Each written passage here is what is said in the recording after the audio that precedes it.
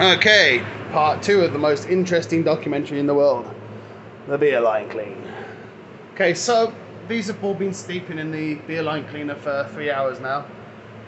We've connected them all back up to the wall and to the, to the water inlet. So now we're just going to pull them through at the bar until each one of them runs clear. So you need your big bucket again. Stick them here.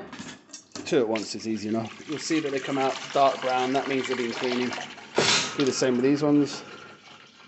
It depends on the beer. These are quite light ones, so these are much more pink. These are darker, so they come out much darker as well. Once they're running clear, let them run for about 30 seconds more each. That way, at least we know that the uh, beer line is out of the out of the lines completely. Yeah, they're good. Once they're all nice and clean, and they're running through the water back into here, and we're going to connect each one of these back to the respective kegs. This will take me a little while. And also remember to take the gas out of that keg and put it back on the keg which you took it from.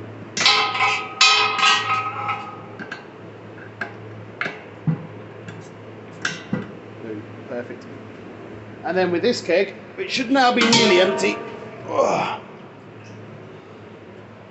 take it out of the way and flip this bad boy up. And let that purge until it's completely out. So once they've all been connected back up to the top, and there's nothing left in the wall, it's time to head back to the bar. And then once again, we've got to pour them all through again. This time you want to get until it's pouring pure beer.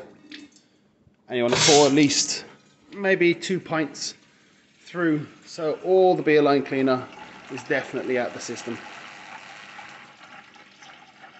So this should be about right now.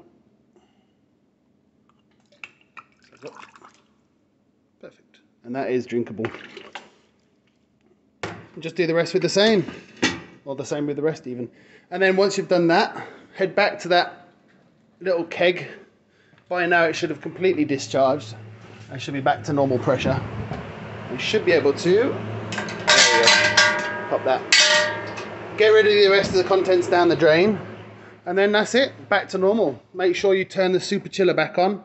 Otherwise all your beer will be warm. And it also froths up if this isn't on, because this kind of, it's kind of like a pump as well. Uh, if that's not on, you'll find your beer is way too frothy. So if your beer comes out really frothy and you can't stop it from exploding, double check your super chiller, make sure it's still back on. The end.